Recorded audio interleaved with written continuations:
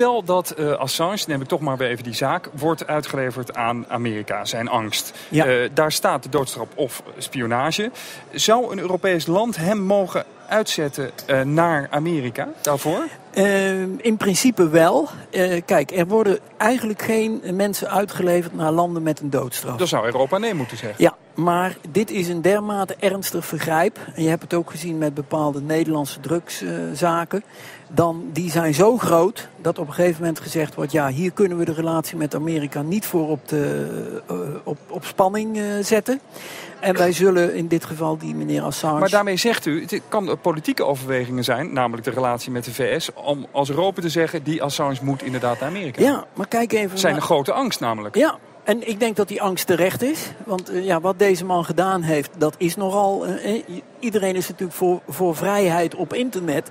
Maar om de halve geheime dienst van Amerika op internet te zetten... dat vind ik ook nogal een misdrijf. Uh, vergis je niet, ook nu... Maar zegt u daarmee Assange moet naar Amerika? Uh, als je mij vraagt van moet Assange worden uitgeleverd, dan zeg ik ja. Is dat een fractiestandpunt? Uh, dat weet ik niet. Okay. Zo, zo, zo, okay. zo, ver, zo ver zijn we nog nee, niet. Wim van der Kamp zegt in elk geval van, van wel. Ja. Um, toch moeten wij niet beoordelen of het inderdaad spionage is... voordat we als Europa zeggen hij moet naar... Dat, dat gebeurt. Want ik, wou nog even zeggen dat... Kijk, in Nederland heeft nu de Nederlandse officier van justitie... die werkt ook met het opportuniteitsbeginsel. He, die kijkt, moet iemand gestraft worden? Moet iemand worden uitgeleverd? En in het geval van Assange zal denk ik zowel de Engelse regering als de Zweedse regering zeggen...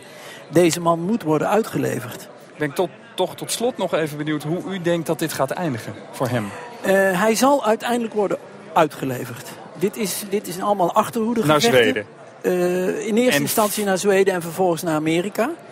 Uh, ik weet wel dat de president van Ecuador... die probeert de Amerikanen nu een beetje te plagen...